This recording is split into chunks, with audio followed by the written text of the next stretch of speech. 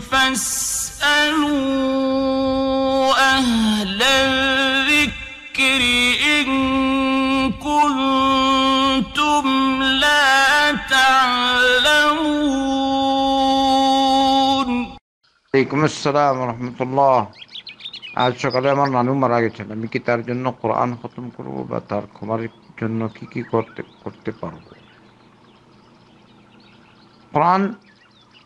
আমাদের দেশে করে তো কেউ কেউ বলেছেন করা যায় কিন্তু নবী করিম সাল্লাহ আসলাম থেকে প্রমাণিত না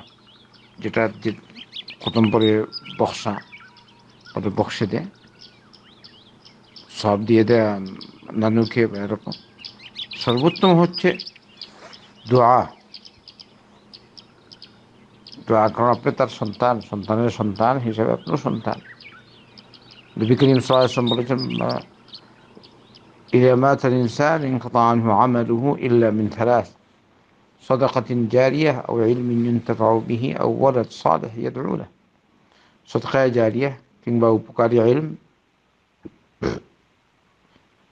علم ইলমে يعني علم شرعي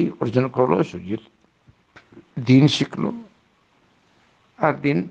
কাউকে শিখালো বা দিন প্রচার করে গেছে যে আওয়ালাদ সালেহ এদৌলা কিংবা নেক সন্তান যে তার জন্য দোয়া করে তাই সর্বোত্তম হচ্ছে আপনার জন্য দোয়া এটা সর্বোত্তম আমল আলহামদুলিল্লাহ বাকি যদি সন্তান সদকা খেয়ারাত করে সম্ভব হয় নিজ তৌফিক অনুযায়ী আলহামদুলিল্লাহ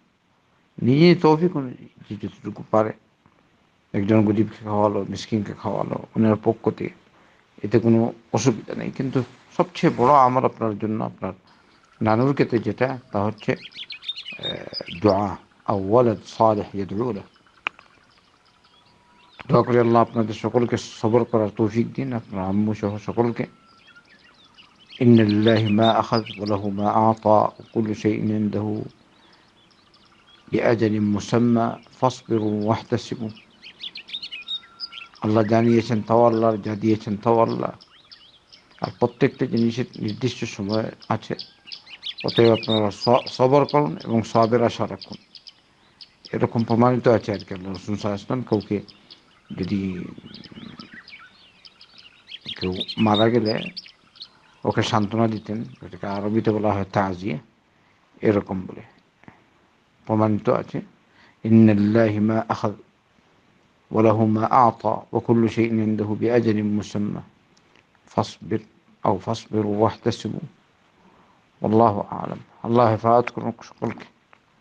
আর এর থেকে সকলকেই শিক্ষা গ্রহণ করা উচিত নানিও চলে গেছেন আর আমি যাবো না এরকম না কত নাতিন কত নাতি পূর্বে চলে যায় সব সময় থেকে আমরা বাস ধৈর্যশীল হওয়া উচিত সকলকে আপনি ধৈর্যের জন্য বলবেন কেউ যেন বেদাত ইত্যাদি না করে অনেকটা আছে বেদাত হয় ওই খতম পড়ানোর যে তরিকা আছে বাংলাদেশ এগুলো কিন্তু বেদাতের অন্তর্ভুক্ত একসাথে মিলে দোয়া টোয়া করানো অথবা চল্লিশে করানো অথবা ওই খাবার আয়োজন বাড়িতে হ্যাঁ এগুলো থেকে দূরে থাকা উচিত আপনি চেষ্টা করবেন কেউ যদি না মানে সেটা ভিন্ন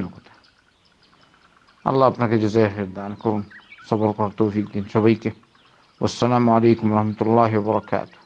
أشرقت نفسي في نور